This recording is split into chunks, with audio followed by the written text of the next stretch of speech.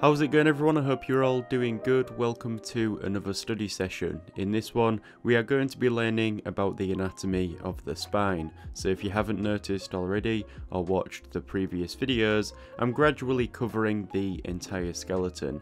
I recently covered the skull and so next up here is the spine. So first of all, what is the spine? Well, your spine or backbone is your body's central support structure. There are three major masses connected to the spine. These are the skull, the rib cage and the pelvis. And here I'm starting to draw these out whilst simplifying their forms. And I'll be covering all of them in depth in their own video because in this one, like I said, I will focus on the spine. So looking at the spine on these drawings of the figure here, you can see its shape as it rotates around on a front view and also on a back view it obviously appears as a straight line, but as it rotates around to a three quarter view and then on a side view, you can see how the spine curves around. From the skull, it comes down and curves the most around the rib cage and also curves into the pelvis. And my sketches here might not be the best way to illustrate this. I will be drawing this out again towards the end of the video once I've learned more about the spine. Also, moving forward throughout these study sessions, I'm going to begin showing more images and information on screen alongside my own drawings in an effort to best explain all of this. So right now on screen there is an image of a spine. Again this is a front, side and back view, the same as I had just drawn.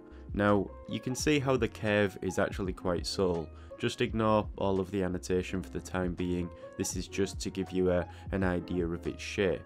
You've probably noticed as well that the spine appears very complex and that's because, well, because it is, but do not worry, rarely will you be drawing the spine in all of its detail.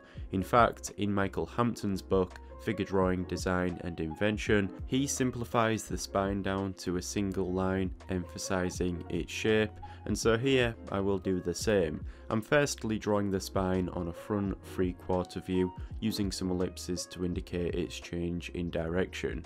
Next to this, I will draw the spine using a series of cylinders. Again, the angle of these clarifies the shape of the spine. Finally, the spine is drawn as a single line, which does best to, again, show the shape of the spine, stripped of all its detail. And so now I will do the same again below, but from a back three quarter view.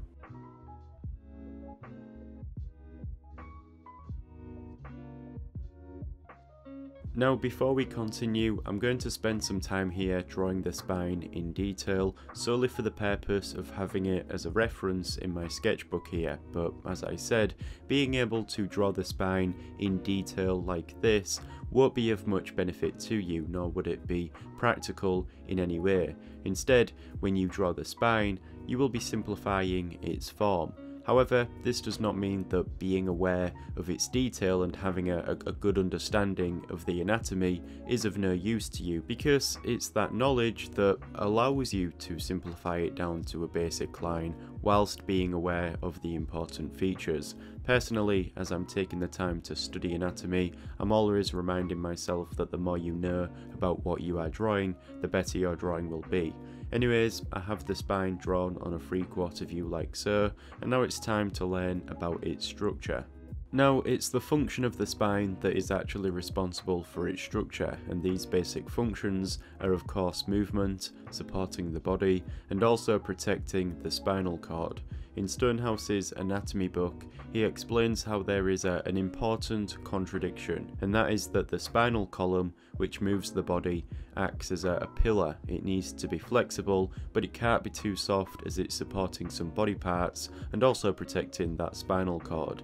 And this is why, as a result, it's one of the most complex structures of the skeleton. The spine is divided into 24 vertebrae, and between each of these there is an intervertebral disc. Now, these 24 vertebrae are divided into three categories, and the vertebrae in these categories have a different structure. So here on screen, you can see how the first seven vertebrae are referred to as the cervical vertebra, and these make up the neck bone.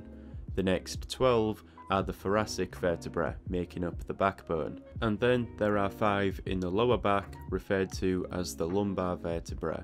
There's also the sacrum which curves around at the bottom of the spine and the coccyx bone is at the end of that. Now, like I said, there are also these vertebral discs between them and these are what allow the spine to move and flex in either direction, so it's a, a very clever design.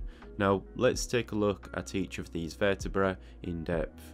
So I'm going to draw both a top-down view and a side view of a vertebra from each category here, and so I'll start with the cervical vertebra. These are referred to as C1 to C7, and the majority appears like this, however I say majority because there are some which are a little different and these are C1 and C2. I'll draw these to the side here and it's worth knowing this because they are important. C1 is referred to as the atlas and C2 is referred to as the axis. Now the atlas is what connects the skull to the spine.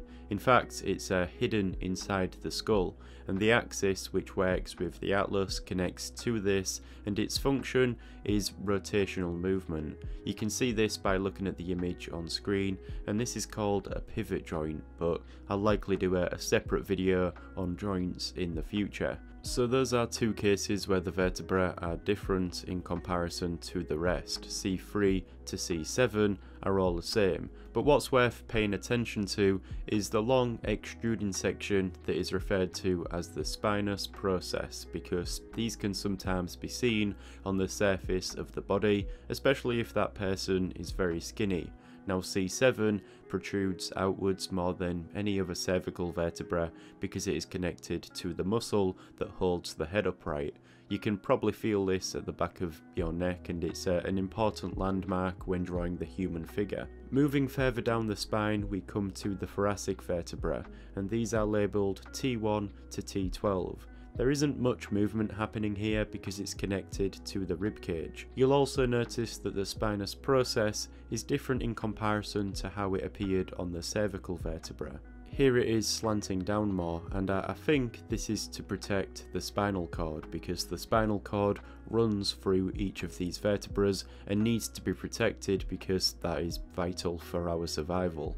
Now finally at the bottom of the spine we have the lumbar vertebra and these are larger in size in comparison to the vertebrae in other sections. In fact, you've likely noticed that the spine gets thicker the further down you go, so the lumbar vertebra L1 to L5 has the most movement along with the neck bone and the reason why they are thicker than other vertebrae is because they take a lot of pressure from holding up the body. It's this section which flexes most when we move in various directions. Now the sacrum and the coccyx are considered to be part of the spinal column but we will cover that when we move on to studying the pelvis.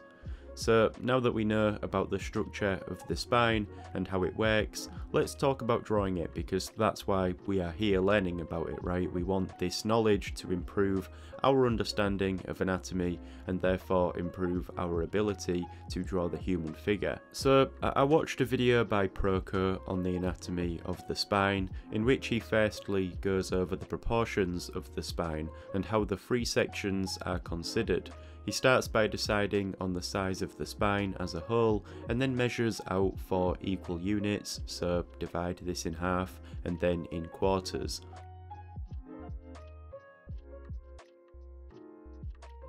The lumbar section is 1 and 1 quarter units, the cervical section is 3 quarters of a unit, and that leaves 2 units for the thoracic section, now, he makes a point of saying that everybody's individual proportions will vary a bit anyways.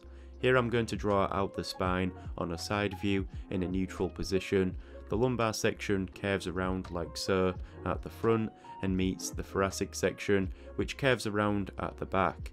Remember the thickness of these cylinders will get thinner as we progress to the top where there then is the cervical section which is the straightest of the sections. Now I'll also add the sacrum to this, which is going to be about 3 quarters of the lumbar section. Again, I will cover the sacrum more when I look at the pelvis. The sacrum curves around like so and tilts with the entire pelvis. So this will be how we represent the spine when drawing. I'll rotate this around so that I can view it on various angles, but I'll keep this in a neutral pose.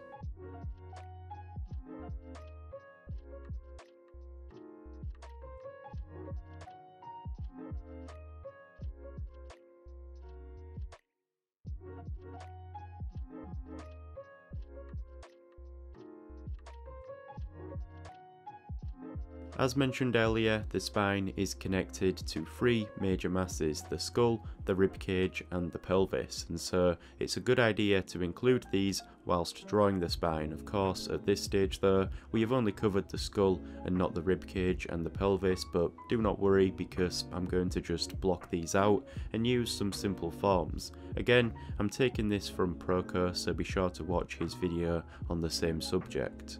So here I'm going to draw out the spine and include the three major masses. Now here you'll see me start by drawing out four equally sized units and this is relating back to the 8 head unit proportional system by Loomis that we looked at in an earlier episode.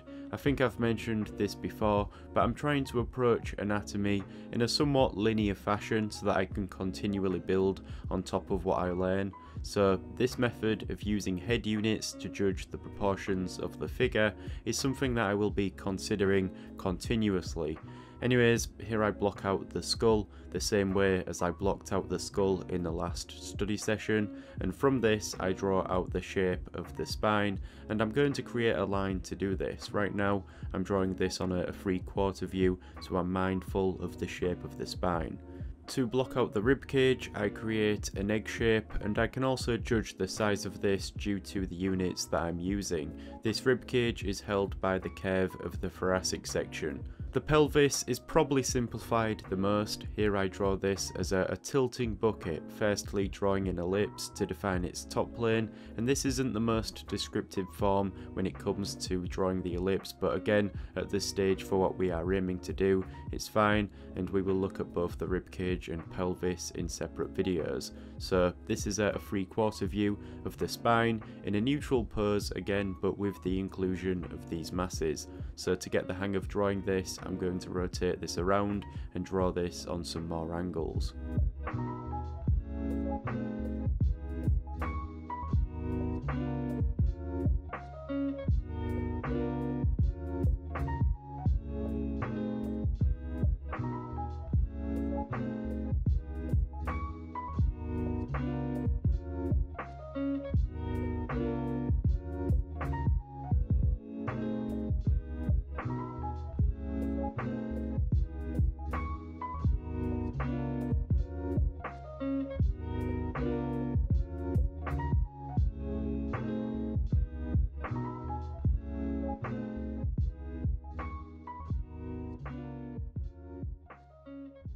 So now that I have had some practice drawing out the spine with the three major masses like so, I'm going to do more of these but now I'm going to draw these on various angles and in numerous positions. And so if you have watched Proko's video, you'll know that he actually sets an assignment in which he provides some reference images of the skeleton that you can use to do this. So that's what I was doing here.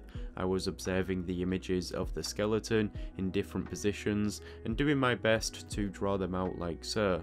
I was also drawing some of these from my imagination. I think having a, an understanding of perspective here can really help to do this and if you are familiar with my videos you'll know that I often cover perspective a lot on this channel so I am fairly confident drawing basic forms like this.